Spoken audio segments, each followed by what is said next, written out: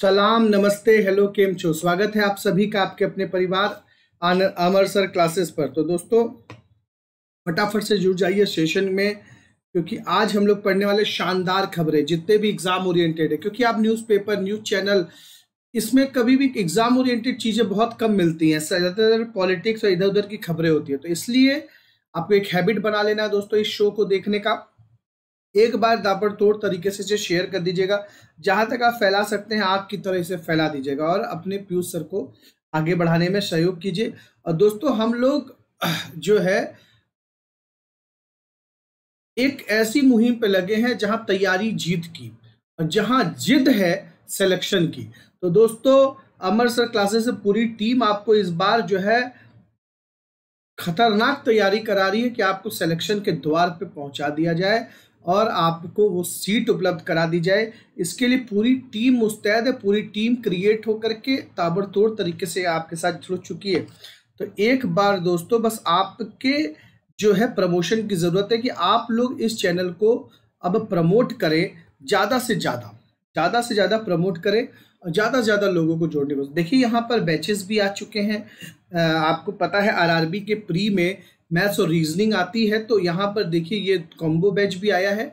अगर आप दोनों लोग का अलग अलग बैच लेना चाहते हैं तो वो भी ले सकते हैं। अमर सर मैथ्स पढ़ाएँगे, रोहित सर रीजनिंग पढ़ाएँगे अलग अलग बैच भी आप ले सकते हैं। भाई अमर सर को कौन नहीं जानता, रोहित सर को कौन नहीं जानता। तो दोस्तों, यहाँ पर पहला क्वेश्चन यहाँ पर आपके सामने आ चुका है कि आईसीसी यानी इंटरनेशनल क्रिकेट काउंसिल जो कि सारे क्रिकेट के आयोजन कराता है इसने भारत पे को पार्टनर बना लिया है? मतलब अपना टूर्नामेंट टूर्नामेंट में ये जो है स्पॉन्सर करेंगे। तो भारत पे कब तक के लिए आईसीसी का पार्टनर बना है। भारत पे दोस्तों, भारत की जो है एक तरीके से गूगल पे फ़ोन पे, इन सब की तरह है। भारत एक इंस्टा पे आता है, वो अलग है, जो बी बीएसएनएल और एसबीआई ने मिलकर शुरू किया। भारत इंस्टा पे वो अलग है, जो कि एसबीआई और इन्होंने मिलकर शुरू किया। ठीक है? क्लियर है? याद रहेगा? बहुत बढ़िया, शानदार। तो देखिए यहाँ पे खुशबू, पिंकी, मीनाक्षी, जिया ध्रुव सभी लोग आ चुके सभी को प्यार भरा नमस्कार। सुमन, यूसर का लाडला भैया, महादेव महादेव प्रिय रंजन पतिराम साहा, पिंकी, संजू, सब यहाँ पे उपस्थित हो चुके हैं। भाई, बहुत बढ़िया। तो दोस्तों, ये जो पार्टनर बने हैं, ये 2023 तक के लिए बने 2023 तक के लिए जो है, ये पार्टनर भारत पे बन गई है। इंटरनेशनल क्रिकेट काउंसिल की बात करें ग्रेक बार्कले हेड है, मनु साहनी जो है कि सीईओ हैं, और यूएई दुबई में इसका हेडक्वार्टर है। इसकी स्थापना हुई थी 1909 में, ठीक है? क्लियर है? याद रहेगा। चलिए बहुत बढ़िया। अगर भारत की क्रिकेट टीम की स्पॉन्सर की बात की जाए तो वो कौन है? मेरे भाई बाईजूस है। कौन है? अफ़गानिस्तान की आ, क्रिकेट स्पॉन्सर टीम की बात की जाए कि टीम की स्पॉन्सर कौन है? तो अमूल है। Amul Anand milk union limited जिसके फाउंडर थे वर्गीस कुरियन जिन्हें मिल्क मैन ऑफ़ इंडिया कहा जाता है जिन्हें व्हाइट रिवॉल्यूशन का फादर कहा जाता है। तो दोस्तों यहाँ पर अगर बात की जाए भारत पे के मालिक की सीईओ की तो वो है असनीर ग्रोवर। और भारत पे का मुख्यालय नई दिल्ली में है और भारत पे की स्थापना 2018 में हुई थी। आईसीसी की बात की जाए दोस्तों तो महिली महिला रैच, मैच रेफरी बनी थी जीएस लक्ष्मी और अभी इंडिया ऑस्ट्रेलिया के मैच में पहली बार फ़ील्ड पर अंपायरिंग करी किसी महिला ने पुरुषों के वनडे मैच में तो वो थी क्लेयर पोलोसॉक। और क्लेयर पोलोसॉक कहाँ की हैं? तो क्लेयर पोलोसॉक ऑस्ट्रेलिया की हैं। ऑस्ट्रेलिया की एक एलिसे पेरी भी है क्रिकेटर है। जो भाई साहब कई गेम्स में जो है कि टॉप की जो है जो है प्लेयर रह चुकी हैं। वो गोल्फ भी खेलती है बैडमिंटन भी खेलती है टेनिस भी खेलती है। भाई साहब, वो सारे गेम खेलती हैं। तो एलिसे पेरी ने इस बार के तीन अवार्ड तो उन्होंने ही जीत लिए, जो आईसीसी का पूरा डिकेट का अवार्ड हुआ था। वो तीन अवार्ड उनके ही, चार में से तीन अवार्ड उन्होंने ही जीते थे। तो दोस्तों, ऐसे भाई खतरनाक खतरनाक खिलाड़ी हैं। इस बार दोस्तों, जो वर्ल्ड कप होने वाला है उसमें चौदह टीम खेलेगी। जो आगे के जो वर्ल्ड कप होंगे, उसमें चौदह टीमें खेलेंगी। ये बात भी याद रखिएगा। जैसे अभी आईपीएल में पूछ लिया था कि कितनी टीमें खेली थी, ऐसा क्वेश्चन आ गया था। तो अभी टीमों की संख्याओं का जो है कि एक अनाउंसमेंट हुआ है कि आगे के जो वर्ल्ड कप होंगे, उसमें जो है चौदह चौदह टीमें खेलेंगी, जो सात सात के बीच में दो ग्रुप में डिवाइड होंगी। तो दोस्तों, ये भी याद रखेंगे, ठीक है? अच्छा अब ये तो वनडे की बात होगी टी ट्वेंटी में बताओ कितनी टीमें खेलेंगी टी ट्वेंटी वर्ल्ड कप में? यहाँ चौदह खेलेंगी। वहाँ मेरे हिसाब से शायद बीस टीमें खेलेंगी। Twenty twenty twenty twenty twenty twenty. तो दोस्तों, जून 2021 में किस बोर्ड ने गिफ्ट सिटी में भारत का पहला इंटरनेशनल मेरी टाइम सर्विसेज़ क्लस्टर खोला है? अंतरराष्ट्रीय समुद्री सेवा क्लस्टर स्थापित किया है मेरे भाई। कहाँ पर स्थापित किया फटाफट बताइएगा।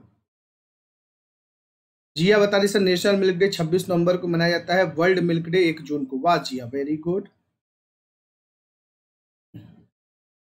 अच्छा सभी तुम्हारे जो, मेरे जो इतने चैंपियन है, सबको अमरसर क्लासेस जो है, भाग गए हैं। सब इधर ही नज़र आ रहे हैं। इधर मैं सुबह साढ़े पाँच बजे खोज रहा हूँ। सब कहाँ गए? पता चल रहा है, सब भाई साहब अमरसर क्लासेस पर जो प्रकट हो गए। क्या बात। तो दोस्तों, यहाँ पर गिफ्ट सिटी की बात की जाए, ये गुजरात में शुरू हुआ special economic zone, Gujarat international finance tech city Gandhinagar में। कहाँ शुरू हुआ है? गांधीनगर में शुरू हुआ है है ना? एक मिनट। और दोस्तों, यहाँ पर ही इंटरनेशनल इसको रेगुलेट करने के लिए गिफ्ट सिटी को आईएफएससीए की शुरुआत हुई है। आईएफएससीए के हेड कौन है? इंजेटी श्रीनिवास है, कौन है? इंजेटी श्रीनिवास है। दोस्तों, national mari, international maritime museum भी ओपन हुआ है यहाँ पे। मेरीटाइम म्यूज़ियम कहाँ ओपन हुआ है? मेरीटाइम म्यूज़ियम कहाँ ओपन हुआ है मेरे दोस्त? तो ये ओपन हुआ है इंडस वैली सिविलाइजेशन का जो बंदरगाह था, पोर्ट था, जो गुजरात में पाया गया लोथल। पुर्तगाल की मदद से इसे शुरू किया गया। कहाँ से? पुर्तगीज की मदद से इसे शुरू किया गया। पुर्तगीज की ही मदद से इसे शुरू किया गया। पुर्तगाल देश की मदद से इसे शुरू किया गया, ठीक है? पोर्टुगल की मदद से शुरू किया गया। तो दोस्तों, गुजरात मैरीटाइम बोर्ड ने समुद्री क्षेत्र में भारत की कंपटीशन और आत्मनिर्भरता को बढ़ाने के लिए वन स्टॉप सॉल्यूशन प्रदान करने के लिए गुजरात के अहमदाबाद में गिफ्ट सिटी में भारत का पहला अंतर्राष्ट्रीय समुद्री सेवा क्लस्टर स्थापित किया। लेकिन यहाँ पे एक न्यूज़ और है जो कि क्वेश्चन में नहीं आया, इसीलिए मैं डिटेल में खबर देता हूँ कि आपको कुछ भी अगर इधर उधर की भी खबर पूछ लेगा, क्योंकि स्टेट क्योंकि वो आपके करंट अफेयर नहीं पूछेगा करंट अफेयर के डिटेल में घुसेगा। तो दोस्तों, गुजरात मेरीटाइम यूनिवर्सिटी का जो नया परिसर भी गिफ्ट सिटी में आ रहा है। तो क्या आ रहा है? गुजरात मेरी टाइम यूनिवर्सिटी कहाँ बन रही है? गिफ्ट सिटी में बन रही है। गिफ्ट सिटी कहाँ है? गांधीनगर। अमित शाह जहाँ के सांसद हैं, वहाँ पे ठीक है? दोस्तों, अरावली वन क्षेत्र है जहाँ की सुप्रीम कोर्ट ने सभी अतिक्रमण हटाने का निर्देश दे दिया। अतिक्रमण किसे कहते हैं? जो इंक्रोचमेंट होता है, जो वहाँ पे लोग बसा लेते हैं, आबादी बसा लेते हैं कब्जा कर लेते हैं, उसे अतिक्रमण कहते हैं। अति अति अति सर्वत्र वर्जित तो दोस्तों, यहाँ पे भारत के सुप्रीम कोर्ट ने हरियाणा राज्य सरकार और फरीदाबाद नगर निगम से बोला है कि फरीदाबाद के गाँव के पास जो अरावरी जंगल में जितने भी अतिक्रमण हुए हैं, उन सबको तुरंत हटाइए। दस हज़ार आवासीय निर्माण इसमें शामिल हैं। तो दोस्तों, शीर्ष अदालत ने इस संबंध में राज्य के अधिकारियों से अनुपालन रिपोर्ट का भी निर्देश दिया है। ठीक है, क्लियर है? बहुत बढ़िया।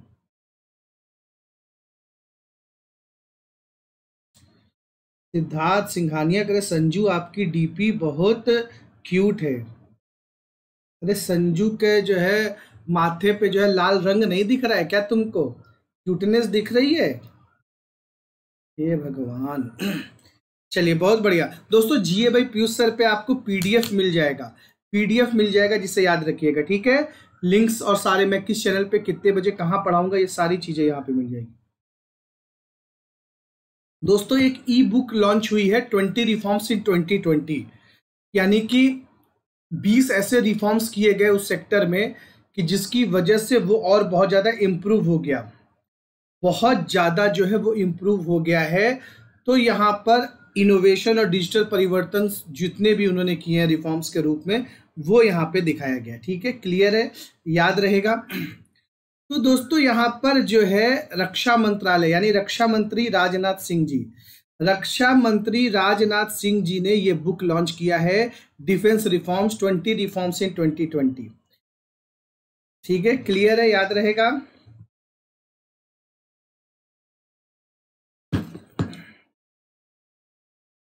Rajnath Singh releases e book title twenty reforms in twenty twenty. ये जो है बुक्स इन्होंने लॉन्च करी है। रक्षा मंत्रालय, राजनाथ सिंह लखनऊ से और रक्षा राज्य मंत्री श्रीपद यसो नाइक, ये नॉर्थ गोवा से आते हैं। ये कहाँ से आते हैं? नॉर्थ गोवा से आते हैं। ठीक है क्लियर है? याद रहेगा? चलिए, बहुत बढ़िया। हाँ अच्छा थर्टी थ्री परसेंट रिजर्वेशन दिया गया। महिलाओं को इंजीनियरिंग और मेडिकल कॉलेज में बिहार में दिया गया। टेन परसेंट ई के कोटे से मराठों को आरक्षण महाराष्ट्र में दिया गया। और पचहत्तर percent reservation in Haryana government दिया गया। वेरी गुड बहुत बढ़िया। एलआईसी के अध्यक्ष एम आर कुमार का कार्यकाल कब तक के लिए बढ़ा दिया गया है? एलआईसी दोस्तों life insurance corporation of India एकमात्र सरकारी लाइफ इंश्योरेंस कंपनी है। बाकी सब जितनी भी हैं G I C N I C L N I A C L ये सब general insurance company general insurance company को हम नॉन लाइफ इंश्योरेंस कंपनी भी कहते हैं, जैसे कि बाइक का, कार का, इन सब का इंश्योरेंस करती है। बात समझ में आ रही है? तो दोस्तों एलआईसी भारत की सबसे बड़ी कंपनी इसका आईपीओ आएगा तो भाई साहब, दुनिया के सबसे बड़े शेयरों में गिनती होगी। एलआईसी ने दोस्तों आईडीबीआई बैंक में शेयर खरीदे आईडीबीआई बैंक में। एलआईसी के चेयरमैन है एम आर कुमार, उन्नीस सौ छप्पन में 243 इंश्योरेंस कंपनियों को मर्ज करके ये कंपनी बनाई गई। सोच रहे कितनी बड़ी कंपनी है ये? मतलब ये 56 में करीब 250 कंपनियों को मर्ज करके ये एक कंपनी बनाई गई है। आज पाँच छह कंपनी मर्ज करके बनाई जाती कंपनी तो बहुत बड़ी कंपनी कहलाती है। सारी कंपनी खत्म कर दी गई और एक बनाई गई कंपनी एलआईसी तो दोस्तों, ये जो है, इसके जो चेयरमैन है, वो एम आर कुमार है। 2022 तक के लिए इनका कार्यकाल बढ़ा दिया गया। एक सितंबर 1956 को दोस्तों LIC की स्थापना हुई थी। याद रखेंगे, ठीक है? ज़िंदगी के साथ भी, ज़िंदगी के बाद भी। ज़िंदगी के साथ भी और ज़िंदगी के बाद भी।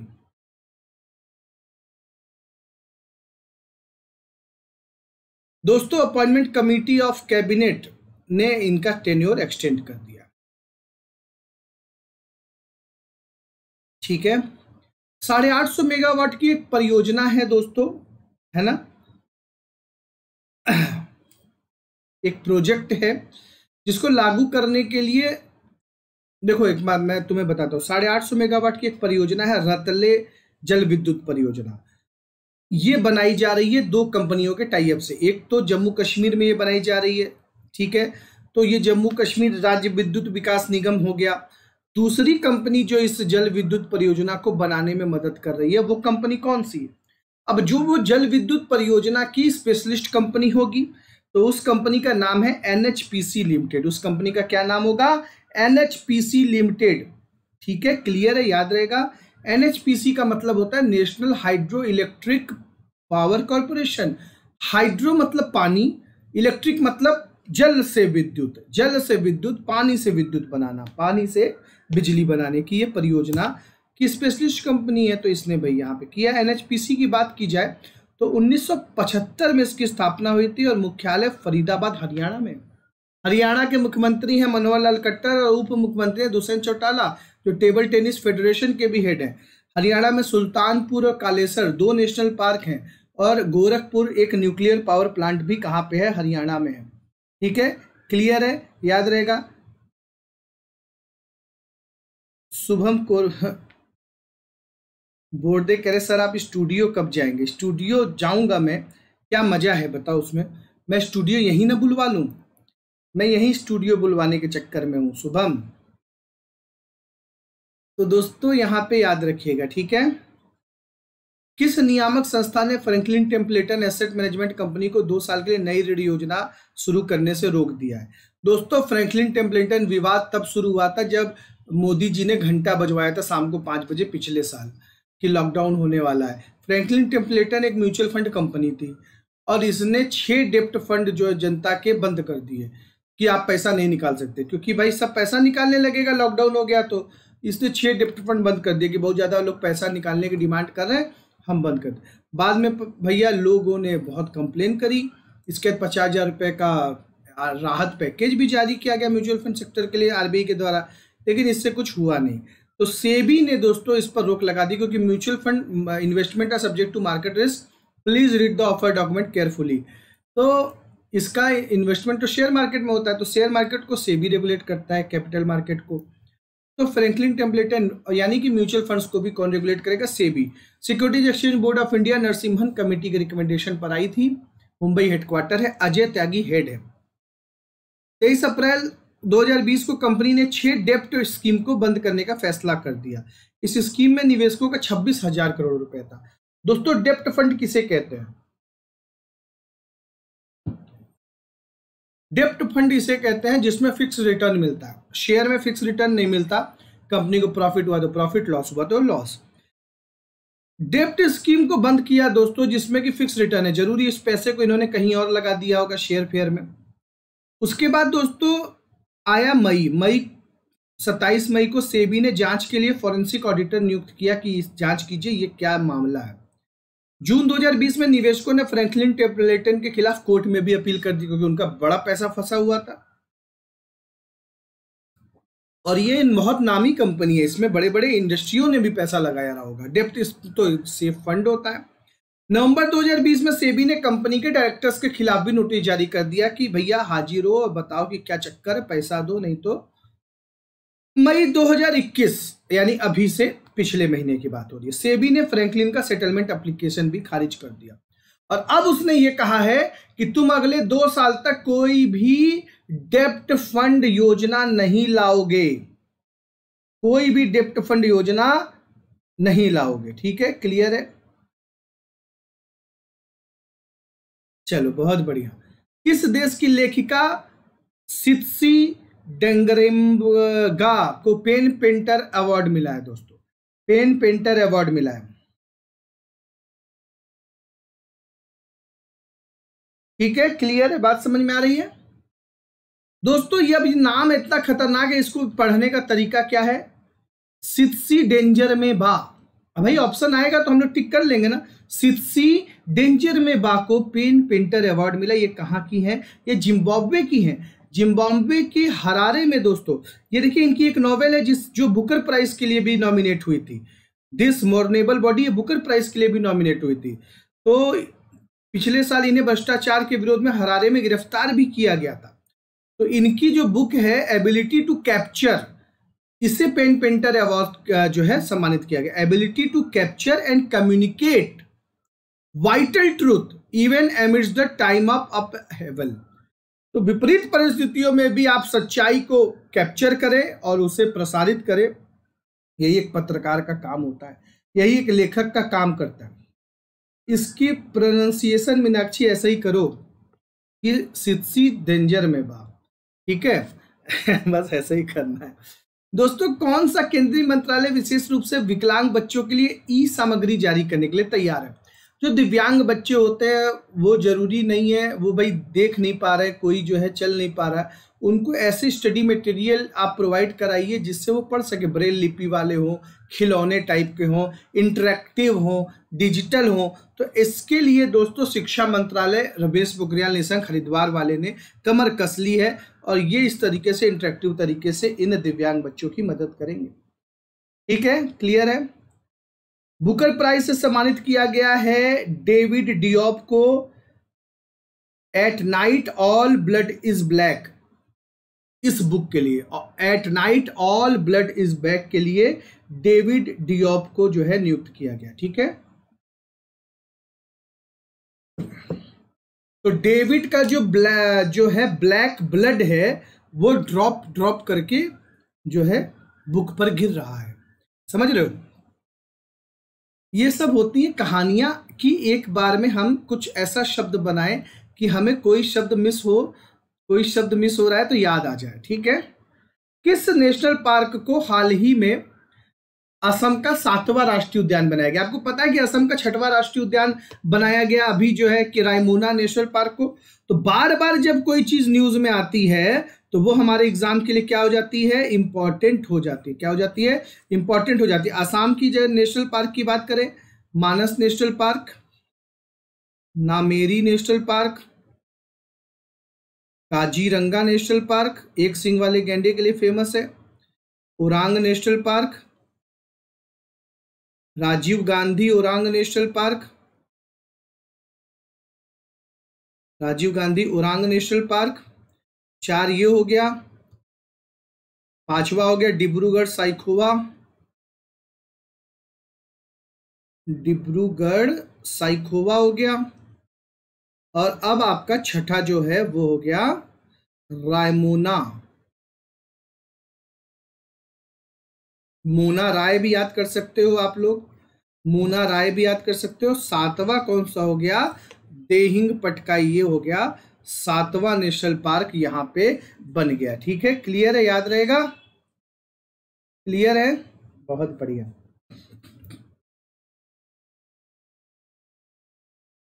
Digboi forest division, Soraipung range, ठीक है? तो असम की राजधानी दिसपुर है, गवर्नर है जगदीश मुखी और मुख्यमंत्री नए नए बने हैं, हेमंत बिश्वा शर्मा, सर्वानंद सोनेवाल की जगह। तो आसाम में धनवंतरी योजना, अरुंधति योजना, प्रणाम योजना, अरुणोदय योजना, स्वयं योजना, बहुत सारी योजना चलती है। यहाँ भारत का पहला लॉजिस्टिक पार्क भी बना था, है ना? बोंगई गाँव में। ठीक है? क्लियर है? याद रहेगा? बहुत बढ़िया। दोस्तों असम की में बोडो भाषा को जो है, ये जो मान्यता मिल गई राजकीय भाषा के रूप में तो पूछ सकता है बोडो कहाँ की जनजाति है? असम की है। क्योंकि बोडो उग्रवादियों, बीस उग्रवादी संगठनों से समझौता भी अमित शाह ने किया था। जिस इसी बोडो आंदोलन से ही निकला था नागरिकता संशोधन बिल, एनआरसी, जिसमें एनआरसी में जो लोग नहीं है, उनको जो है शामिल, उनको जो है बांग्लादेश वापस जाना होगा। दोस्तों, वीएन भारत का पहला गाँव है, जिसने, जिसकी जो 18 साल से ऊपर की है पूरी आबादी 100 परसेंट वैक्सीनेटेड हो गई है। वैक्सीनेटेड हो गई है। तो दोस्तों, ये कौन सी है? इसका नाम है जम्मू कश्मीर। जम्मू कश्मीर का वीएन गाँव दोस्तों 100 परसेंट वैक्सीनेशन लगाने वाली देश का पहला गाँव है। देश का पहला गाँव है। क्लियर है? याद रहेगा? चलिए, बहुत बढ़िया, शानदार, जिंदाबाद, ज़बरदस्त। जम्मू कश्मीर के बौंदीपुरा ज़िले का एक सुदूर गाँव वियान देश का पहला गाँव बन गया, जिसने अपनी सभी वयस्क आबादी के खिलाफ टीकाकरण किया गाँव में टीकाकरण जम्मू कश्मीर मॉडल के तहत कवर किया गया, जो सभी पात्र नागरिकों को टीकाकरण करने के लिए दस सूत्री रणनीति है। ठीक है? किस सागर में इंडोथाई कॉर्पोरेट अभ्यास शुरू हुआ है? अभ्यास जब शुरू होते हैं एक्सरसाइज तो ये आपसे क्वेश्चन दो तीन तरीके से पूछते हैं। जैसे कि ये वाला कॉर्पोरेट एक्सरसाइज किन दो देशों के बीच में होता है? तो इंडिया और थाईलैंड के बीच में हो रहा है। उसके बाद जो क्वेश्चन आता है कि किस जगह पर हुआ? तो याद रखिए, भारत में हुआ है, अंडमान में। भारत में हुआ है, कहाँ पर हुआ है? अंडमान में। ठीक है? क्लियर है? याद रहेगा? बहुत बढ़िया। तो दोस्तों, ये अंडमान में हुआ है। इससे में यहाँ पे अगर बात की जाए 2005 से ये हर साल होता है। भारत की तरफ़ से आईएनएस सरयू और थाईलैंड की तरफ़ से एच टी एम एस कौर भी इसमें भाग ले रहे हैं। अगर बात करें थाईलैंड की राजधानी की तो बैंकॉक इसकी राजधानी है और बेहत इसकी करेंसी है। बेहत इसकी क्या है? करेंसी है। ठीक है? क्लियर है? याद रहेगा? बहुत बढ़िया। दोस्तों, किस भारतीय फुटबॉलर ने अंतरराष्ट्रीय अंतरराष्ट्रीय लक्ष्यों में लियोन मेसी को भी पीछे छोड़ दिया। भारत के लिए बड़े गर्व की बात है। जिस फुटबॉल में हमारी रैंकिंग टॉप हंड्रेड में भी नहीं आती है, वहाँ एक खिलाड़ी है सुनील छेत्री, जो बड़े बड़े फुटबॉलर को पीछे कर देता है। दोस्तों, जो जेएसडब्ल्यू सीमेंट के ब्रांड एम्बेसडर है सौरभ गांगुली के साथ। सुनील छेत्री ने दोस्तों मार दिए चौहत्तर गोल लियोन मेसी के हैं बहत्तर गोल। अब बताओ क्या करोगे? बिजली कैरी से Thailand is the biggest Buddhism follower in the world Thailand very good बहुत जानकारी है तुमको थाईलैंड के बारे में हाँ?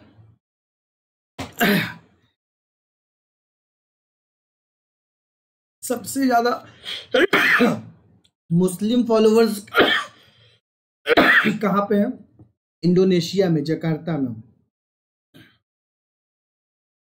इंडोनेशिया, जकार्ता में।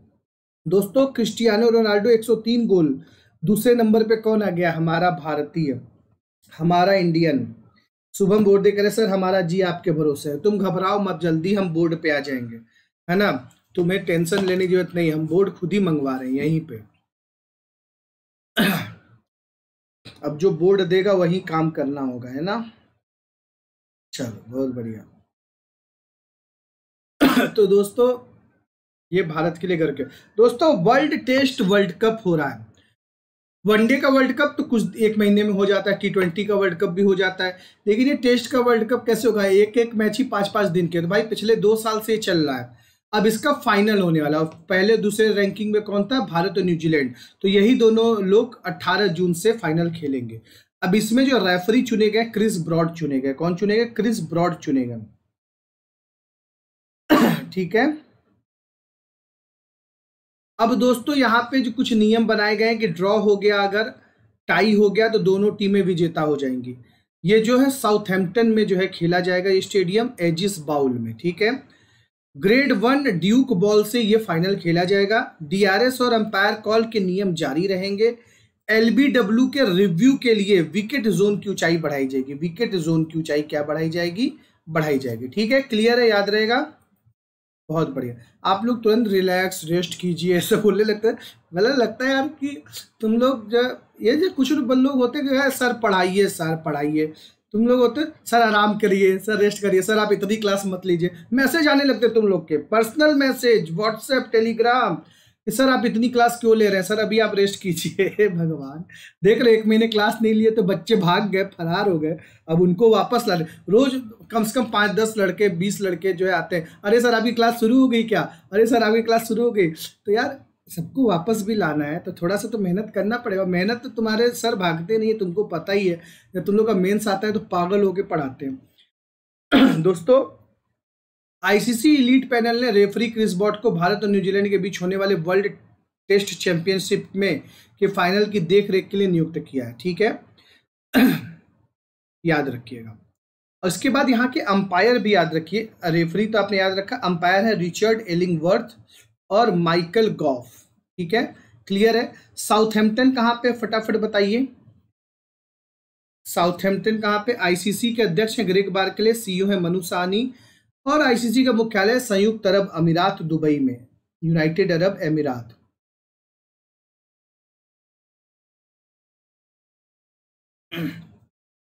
बिजली के सर, ये स्टुअर्ट ब्रॉड के फादर है, जिनको युवराज सिंह ने छह छक्के मारे थे। भाई साहब, वो भी गजब का था। फ्लिंटाप गुस्सा दिलाया स्टुअर्ट ब्रॉड बहुत बड़ा जो है क्रिकेटर है। ये नहीं कि स्पिनर के खिलाफ छह छक्के मारे, बहुत तेज, फास्ट बॉल फेंकने वाला। भाई साहब घुमा घुमा के हर तरफ़ छक्के मारे। कहाँ बॉल दिया? वो पागल, सिख पागल हो जाता है ना जब जट पगला हो जाता है तो ऐसे ही होता है। तो दोस्तों, भारत के किन राज्यों ने भारत रत्न पद्म पुरस्कारों की तर्ज पर पुरस्कार देने की घोषणा की है? यानी भारत रत्न की तरह वहाँ पे रत्न दिया जाएगा। भारत रत्न की जगह वहाँ पे, भारत रत्न की अगर बात कर लें, भारत रत्न की अगर बात कर लें तो उन्नीस में देना शुरू हुआ। है पद्म पुरस्कार, जो दूसरे नंबर का सर्वोच्च पुरस्कार है, ये भी 1954 से ही शुरू हुआ। है अगर बात करें फ़िल्म फेयर की तो ये भी 1954 से ही स्टार्ट हुआ। है ठीक है।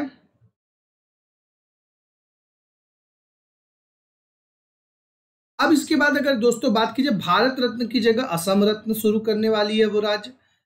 पद्म पद्म विभूषण की जगह असम विभूषण। और पद्म भूषण की जगह असम भूषण और पद्मश्री की तरह असम श्री अवार्ड दिया जाएगा। तो बिल्कुल असम यहाँ पे सही आंसर है। और आसाम में तेरह गार्जियन मिनिस्टर बनाए गए हैं और दो दो ज़िले सबको दे भी दिए गए ठीक है? तेरह गार्जियन और ये हेमंत विश्वा शर्मा यहाँ के नए मुख्यमंत्री बने सर्वानंद सोनेवाल की जगह। दोस्तों, अब यहाँ पे हम लोग को क्या ध्यान देना है? देखिए।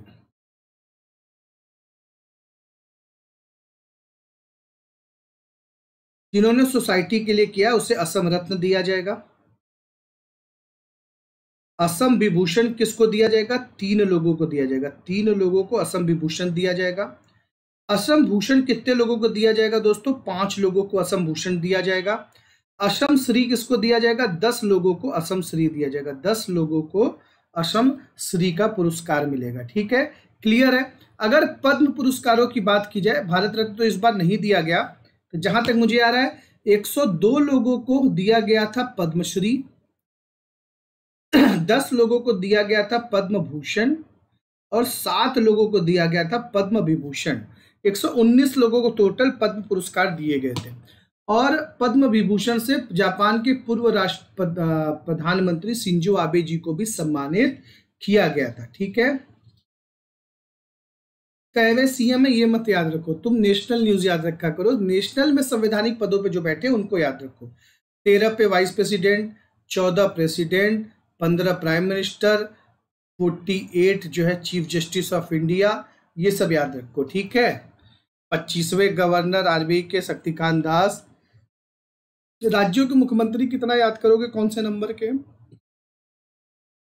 आरबीआई द्वारा किसी आईसीआईसी के पार्ट टाइम चेयरमैन के रूप में फिर से नियुक्त किया गया? देखिए, आप ये बात याद रखिए कि आप नेशनल एग्ज़ाम देने जा रहे हैं। अगर मान लो आसाम का पूछ लिया तो गुजरात वाला नाराज़ हो जाएगा, केरल वाला बहुत ही नाराज़ हो जाएगा कि हमारा क्यों नहीं पूछे? इसीलिए आपने कभी देखा किसी क्षेत्रीय ग्रामीण बैंक का हेडक्वार्टर नहीं पूछता जल्दी? अगर वो बहुत ज़्यादा न्यूज़ में ना हो तो? कोई भी राज्यों की योजनाओं की डिटेल नहीं पूछता है बस इतना पूछता है, ये राज्य किस राज्य की योजना है? अगर डिटेल पूछना होगा तो केंद्र की योजना का डिटेल पूछेगा, ठीक है? तो ये सब थोड़ी सी एनालिसिस कीजिए एग्जामिनेशन में कैसे क्वेश्चन आते हैं। इसीलिए आप करंट अफेयर आप पढ़ते रह जाते हो क्वेश्चन नहीं फंसते हैं। हम लोग एनालिसिस करते हैं कि भाई कैसे क्वेश्चन पूछे गए वैसे ही क्वेश्चन अगले एग्ज़ाम में पूछे जाएँगे। आईसीसी के पार्ट टाइम चेयरमैन फिर से जीसी चतुर्वेदी बन गया। वैसे आईसीसी के सीईओ एन एमडी कौन है? सीएमडी कौन है? सीईओ एन एम डी कौन है? तो वो है संदीप बख्शी। कौन है? Sandeep Bakshi ji i mobile pay app यहाँ पे आईसीसी बैंक ने लॉन्च किया। आईसीसी का फुल फॉर्म है। Industrial credit investment corporation of India 1994 में आई थी। हम है ना ख्याल आपका, इसकी क्या है? टैगलाइन है। न्यूयॉर्क स्टॉक एक्सचेंज में फ़र्स्ट लिस्टेड होने वाली बैंक अगर भारत की कोई है तो यही है। I mobile pay app pocket wallet अभी उसको यूपीआई से जोड़ा है इसने। इंस्टा एफ़ एक्स इंस्टा बिज नाम से इसने प्रोडक्ट लॉन्च किया था। होम उत्सव नाम से एक, जो है इन्होंने जो है कि कैंपेन भी चलाया था। नरिंदर कपानी, जो father of the fibre optics थे अमेरिकन उनको मरणोपरांत पद्म विभूषण मिला था। बिल्कुल सही बिल्कुल सही है बिजली। तो दोस्तों, यहाँ पर अगला क्वेश्चन है, भारत की पहली C A R T cell therapy जिसे हाल ही में किस बीमारी के इलाज में इस्तेमाल किया गया था? India's first C A R T cell therapy which was done recently use in treatment of which element तो दोस्तों, ये कैंसर के लिए इस इलाज को यूज़ किया जा रहा है। इसमें क्या है? सेल थेरेपी है दोस्तों। इसमें जो है टी सेल है यहाँ पे। ये टी सेल है। इसमें सी ए आर को ऐड किया जा रहा है। जिससे कि सार टी सेल बन जा रहा है तो और मज़बूत बन जा रहा है। ये देख रहे हैं स्पाइक आपको कोरोना के जैसे दिख रहे हैं ना तो ये जो है एक जो है, ये स्पेसिफिक सेल बन जा रहा है, जिससे कि कोशिश की जा रही है कैंसर के मरीजों की इलाज करने की। टाटा मेमोरियल सेंटर मुंबई में bone marrow bone marrow transplant unit में इसकी शुरुआत की गई है। एक प्रकार की जिन थेरेपी है जिसका यूज़ कैंसर के ट्रीटमेंट में किया जाता है। खास रूप से जो बहुत खतरनाक तेज़ी से बढ़ता है लिम्फोसाइटिक ल्यूकोमिया उसके इलाज में इसका यूज़ किया जा रहा है। ठीक है? वर्ल्ड कैंसर डे चार फेब को मनाया जाता है और इस बार की थीम थी I am and I will very good Shivani very good बिजली। तो चार फेब को मनाया जाता है, ठीक है? इकतीस मई को तंबाकू दिवस मनाया जाता है, जिससे कैंसर होता है। और एक मई को मजदूर दिवस मनाया जाता है, जो तंबाकू खाते हैं। तो आप लोग फिर तंबाकू मत खाइए क्योंकि मजदूर खाते हैं। आप मजदूर नहीं हैं, न मजदूर बनना चाहते हैं तो अम्बाकू तंबाकू मत खाइए, ठीक है? बिटकॉइन को लीगल टेंडर का दर्जा देने वाला दुनिया का पहला देश कौन सा बन गया? दोस्तों, बिटकॉइन एक फर्जी करेंसी थी, एक वर्चुअल करेंसी कही जाए, जिसे जापान के एक हैकर ने शुरू की थी, सतोशी नाकामोटो ने। उसका भी पता नहीं लगा पाया, इतनी तगड़ी ब्लॉकचेन टेक्नोलॉजी उसने डेवलप करी है कि आज दुनिया कि बैंक्स इसको फॉलो कर रहे हैं कि यार इसे हैक नहीं कर पाया, कोई देश इसे रोक नहीं पाया इलीगल होते हुए भी। मान्यता कोई नहीं देता, लेकिन रोक भी कोई नहीं पाता, क्योंकि ये क्रिप्टो करेंसी है इनक्रिप्टेड भाषा में जाती है। और मैथ के फॉर्मूले के रूप में तो बिटकॉइन को लीगल टेंडर एक देश ने दे दिया, उसका नाम है एल सेल्वाडोर अब एल सेल्वाडोर जो है, उससे क्या होगा, उसको टूरिज़्म मिलेगा। जिनके पास बिटकॉइन है, वो कहेंगे, चलो एल सेल्वाडोर घूम के आते हैं। है ना? कम से कम वहाँ बिटकॉइन चलता तो है। तो दोस्तों, इसकी राजधानी सेन सल्वाडोर है। यूएस डॉलर यहाँ की मुद्रा है। अब दोस्त, यहाँ पे जो देश के बाहर जो लोग काम कर रहे हैं, वो भी बिटकॉइन में पैसा अपना जो है, घर भेज सकते हैं। ये भी व्यवस्था अच्छी है है ना? तो एल सलवाडोर, सेन सलवाडोर, वहाँ की राजधानी। ठीक है, क्लियर है? याद रहेगा? बहुत बढ़िया। 12 जून को एंटी चाइल्ड लेबर डे मनाया जाता है। जिया बता रही है, बहुत बढ़िया। देखिए, एक बात बता दें हम आपको। चाइल्ड लेबर से एक बता दूँ 80 से ज़्यादा देशों में एक संस्था चलती है, बचपन बचाओ आंदोलन। वो बेचारे गोली भी खा चुके हैं आईआईटी के इंजीनियर थे। इन्हें छपास की बीमारी नहीं है। जैसे आजकल के लोग होते थोड़ा सा दान पुण्य करते हैं, सोशल मीडिया पे डाल देते हैं, न्यूज़ पे डाल देते उन्होंने कभी नहीं डाला। अस्सी से ज़्यादा देशों में उनके खुद के बचाए हुए चाइल्ड लेबर से बचाए हुए बच्चे बड़े होकर के काम कर रहे हैं। यूनाइटेड नेशन तक ने उन्हें रिकॉग्नाइज किया। उन्हें नोबेल पीस प्राइज भी मिला 2014 में। सबसे कम उम्र की महिला मलाला यूसुफ जई के साथ जिन्होंने जिन्हें नोबेल पीस प्राइज मिला था। मध्य प्रदेश के आईआईटी इंजीनियर रह चुके कैलाश सत्यार्थी जी को। तो चाइल्ड लेबर के लिए उन्होंने बहुत काम किया। चाइल्ड लेबर बचपन बचाओ, आंदोलन चलाते हैं वो। उन बच्चों को पढ़ाते हैं, लिखाते हैं। तो ये भी बहुत महान काम है।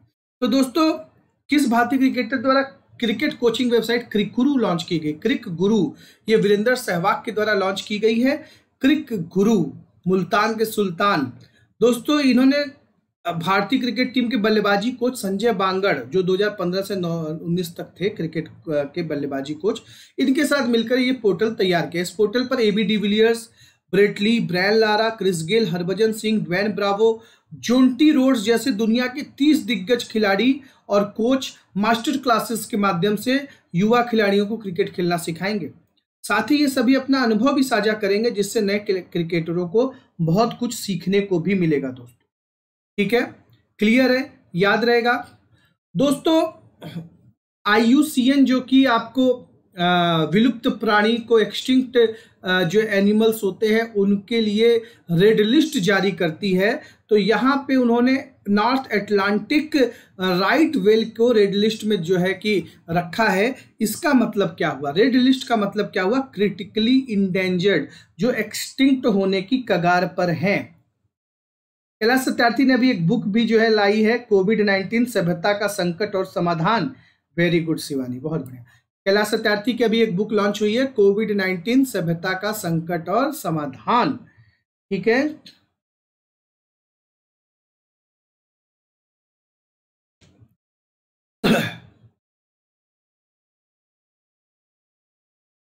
तो दोस्तों, यहाँ पर ये बहुत ही इंपॉर्टेंट बात है, क्योंकि यहाँ पे देखा गया है कि 20 साल पहले जो वेल थी, उससे ये वेल तीन फीट छोटी हो गई है।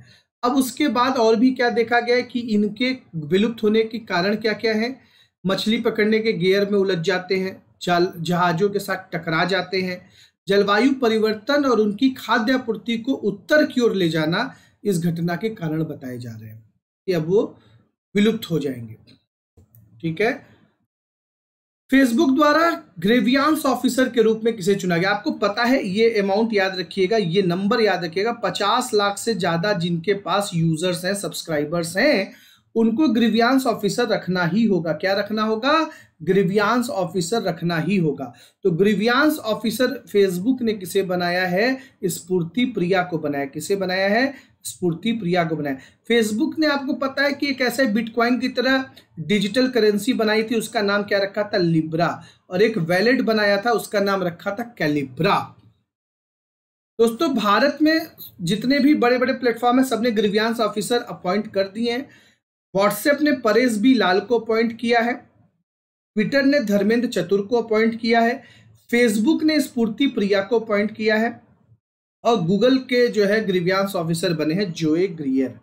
जोए ग्रियर। क्लियर है? तो दोस्तों, यह कदम पिछले महीने लागू हुए सूचना प्रौद्योगिकी, मध्यवर्ती दिशा निर्देश और डिजिटल मीडिया आचार संहिता नियम 2021 की वजह से लिया गया। मतलब भारत में रहना है तो भारत के नियम से चलना होगा भाई साहब। इसकी वजह से ट्विटर ट्विटर बहुत ज़्यादा दुश्मनी भी निकाल रहे हैं ना? सरकार के अधिकार जितने भी नेता उनके यहाँ से ब्लू टिक गायब कर दे रहे पता नहीं क्या अपने हिसाब से बदला ले रहे भारत सरकार के नए दिशा निर्देश के अनुसार 50 लाख से अधिक यूज़र्स वाली सोशल मीडिया कंपनियों को एक शिकायत अधिकारी नोडल अधिकारी और मुख्य अनु, मुख्य अनुपालन अधिकारी भारत में नियुक्त करना होगा। फेसबुक के संस्थापक मार्क जुकरबर्ग हैं। फेसबुक का मुख्यालय है कैलिफ़ोर्निया में, ठीक है? कैलिफ़ोर्निया में भी कहाँ पे है दोस्तों? याद रखिएगा माउंटेन व्यू में गूगल का है अल्फ़ाबेट का है, लेकिन इनका जो है वो मेलो पार्क में है। वो कहाँ पे है? मेलो पार्क में है मेलो पार्क में मेलो पार्क में। अब मेलो पार्क में, क्योंकि फेसबुक को ने 2014 में व्हाट्सएप को खरीद लिया था तो व्हाट्सएप का भी कहाँ पे है? मेलो पार्क में ही है। व्हाट्सएप के जो है सीईओ कौन है? विल कैथार्ट है, विल कैथार्ट है है ना? मार्क जुकरबर्ग इसके सीईओ हैं फेसबुक के सीईओ हैं, ठीक है? ट्विटर के जैक डोरसे हैं Jack Dorsey very good very good Shivani very good world whale day इक्कीस फरवरी को मनाया जाता है। जिया बता रही वाह वाह वाह वाह। ये हमारे चैंपियन है भाई साहब, खतरनाक वाले चैंपियन है सब। दोस्तों, ग्लेशियर ब्लड किस पर्वत श्रृंखला पे देखने जाने वाली घटना है? ग्लेशियर ब्लड एक फिनोमिनन है जो कि किस माउंटेन रेंज पर देखी जा रही है? फ्रांस की आल्प्स की पहाड़ियों पर देखी जा रही है, दोस्तों। जी, क्या है, दोस्तों, ये? समुद्र तल से हज़ारों फीट ऊपर जो है, जो ग्लेशियर है, समेत बर्फ़ का, उस, उसमें लाल रंग से सना हुआ वो दिखाई देता है, जिसे ग्लेशियर ब्लड के रूप में जाना जाता है। यह घटना बर्फ़ में रहने वाले सूक्ष्म शैवालों के कारण होती है। ठीक है, सूक्ष्म शैवाल वो रेड कलर के दिखने लगते हैं। क्लियर है? याद रहेगा? दोस्तों, भारत बायोटेक के हैदराबाद परिसर में सिक्योरिटी के पर्पज से किस अर्धसैनिक बल को जो है वहाँ पे तैनात कर दिया गया? आपको पता है कि इस समय वैक्सीन बनाने वाली कंपनियों को बहुत खतरा है। महाराष्ट्र में तो शिवसेना से ही खतरा था। Serum Institute of India Pune के जो सीईओ थे, आधार पुनावाला जाके ब्रिटेन में बैठ गए। दोस्तों, इसी तरह भारत बायोटेक बना रही है हैदराबाद वाली कोवैक्सीन कोविशील्ड बनाती है सीरम इंस्टीट्यूट ऑफ़ इंडिया जिसके मालिक साइरस पूनावाला आठवें नंबर के सबसे अमीर आदमी बन गए। उनके बेटे सीईओ जो है, उन्होंने अभी बंगाल की एक फाइनेंस कंपनी खरीद ली। और जो एशियन ऑफ़ द ईयर बन गए। तो दोस्तों, ये भारत बायोटेक जो है, को कोवैक्सीन जो है बनाती है। तो सी आई एस एफ़ यहाँ पे अपॉइंट कर दी गई है इनकी सिक्योरिटी के लिए। इन लोग की सिक्योरिटी के लिए बना दी गई है, ठीक है? क्लियर है? याद रहेगा? चौसठ सशस्त्र कर्मियों की एक टीम यहाँ सुरक्षा देगी। दोस्तों, जंगी थोपन पोवारी एक जल विद्युत परियोजना है। पानी से जो है विद्युत बनाने वाली एक प्रोजेक्ट है हाइड्रो इलेक्ट्रिसिटी प्रोजेक्ट है। ये किस नदी पर बनाया गया है? तो ये सतलज नदी पर बनाया गया किस नदी पर बनाया गया हिमाचल प्रदेश में सतलज नदी पर इसे बनाया गया है, दोस्तों, याद रखेंगे, ठीक है? मरकरी नेवल कॉर्वेट एक पूर्ण शक्ति वाला जहाज़, दोस्तों, खतरनाक जहाज़ बनाया है रशिया ने। किस देश ने बनाया है? रशिया ने बनाया है। Vladimir Putin, Russia, Moscow, rouble, जिन्होंने एस फोर हंड्रेड हमें दिया और ब्रह्मोस मिसाइल जिनकी मदद से हम बनाते हैं। ब्रह्मपुत्र भारत की नदी, मॉस्कोवा, रशिया की नदी। जो रशिया पहले जी एट में हुआ करता था, अब वो नहीं है, अब वो जी सेवन बन गया है। रशिया बाहर हो गया, ठीक है? क्योंकि रशिया इन लोग के दबाव में आता नहीं है। रशिया ने यूक्रेन के क्रीमिया पे जब कब्जा कर लिया था तो रशिया हमारा मित्र देश है दोस्तों। रशिया ने हमें, जब हमने पाकिस्तान पे युद्ध करके बांग्लादेश बनाया था तो अमेरिका के पूरी जहाजी बेड़े को रास्ते में रोक दिया था कि जाना मत। भारत हमारा मित्र देश है। यानी रशिया ने ही हमेशा हमें बचाया है। रशिया ने ही हमेशा जो है युद्ध की परिस्थितियों में हमें बचाया। उस, ऐसे नहीं होता है कि किसी ने भी अगर देवसेना को छू दिया तो समझ लो बाहुबली की तलवार को हाथ लगा दिया। तो रशिया ऐसा वीटो पावर लगा के रोक देता था। तो दोस्तों, अब आजकल हम अमेरिका के भी दोस्त हो गए। तो रशिया थोड़ा सा नाराज़ हो गया हम लोग से, है ना? लेकिन रशिया भारत के बीच में इंद्र जो युद्धाभ्यास होता है, वो हर साल होता है। पिछले साल नहीं हुआ, सोचिए सोचिए नहीं हुआ। रशियन कवकज युद्धाभ्यास में भारत नहीं गया। तो ऐसी भी चीज़ें देखी जा रही है। तो रशिया पूरी तरीके से स्टिल्थ टेक्नोलॉजी से लैस जो है, पहला नौसैनिक जहाज़ बना रहा है। स्टिल्थ टेक्नोलॉजी से लैस मरकरी नोवेल कॉर्वेट इसे कहा जाता है, ठीक है? तो पोत क्रूज मिसाइल, विमान भेदी मिसाइल तोप खाने से ये लैस होगा। या पनडुब्बियों का पता लगाने और नष्ट करने में भी सक्षम होगा। कोपरेंसिस दोस्तों, एक बहुत बड़ा डायनासोर का जीव, वो जीवाश्म पाया गया है। यह किस देश के सबसे बड़े डायनासोर के रूप में इसकी पहचान की गई है? किसकी? कोपरेंसिस की। क्लियर है? चलिए, बहुत बढ़िया। तो ऑस्ट्रेलिया में दोस्तों ये कोपरेंसिस डायनासोर के जो है अवशेष पाए गए हैं। इसकी हड्डियों को पहली बार उजागर किए जाने के बाद इसकी घोषणा की गई। यह टाइटोनासोर परिवार का हिस्सा है, जो लगभग 100 मिलियन वर्ष पहले अस्तित्व में था। इसकी ऊंचाई पाँच से साढ़े छह मीटर और लंबाई जो है 25 से 30 मीटर होने का अनुमान है। अंगों के आकार की तुलना के आधार पर यह नया टाइटोनासोर दुनिया के शीर्ष पाँच सबसे बड़े होने का, बड़े डायनासोर होने में का अनुमान है। तो दोस्तों, ये जो है थी आज की ताबड़तोड़ खबरें जिन्हें हम लोग ने ताबड़तोड़ तरीके से पढ़ा भी। जैसे हम लोग ने ताबड़तोड़ तरीके से पढ़ा तो आशा है कि आप लोगों को मज़ा आया होगा। और मैं ज़्यादा से ज़्यादा करेंट अफेयर कहीं से भी कुछ छूट ना जाए, इसे करने के लिए बड़ी मेहनत करता हूँ। आप लोगों को एक कंटेंट देने के लिए सुबह सुबह आप लोग की मेहनत करता हूँ। बस ये मेहनत साकार होगी जब आप गुरु दक्षिणा दोगे। और गुरु दक्षिणा में मैं पैसा तो माँगता नहीं हूँ, ना सोना चांदी। मैं बोलता हूँ कि इसे शेयर कर दो। शेयर दबाओ कॉपी लिंक करो, जहाँ भी आप ग्रुप में हो फेसबुक व्हाट्सएप इंस्टाग्राम टेलीग्राम सब जगह शेयर कर दो, ताकि आपके प्यू सर को ज़्यादा से ज़्यादा लोग देखें और आप अपने प्यू सर को ज़्यादा से ज़्यादा लोगों तक पहुँचा सकें। थैंक यू सो मच शुक्रिया, धन्यवाद। जय हिंद, जय भारत हैव नाइस डे आपका दिन शुभ हो। Thank you so much